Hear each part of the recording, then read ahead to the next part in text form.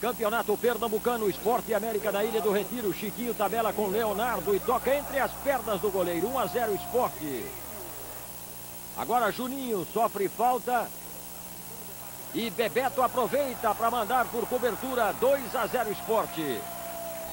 No segundo tempo, Sandro bate falta, a bola passa por baixo das pernas do goleiro. Que frangaço, hein, Sandro? 3 a 0 Esporte. E mais esporte na frente. O zagueiro Sandro agradece a rebatida do xará americano e chuta no canto 4 a 0.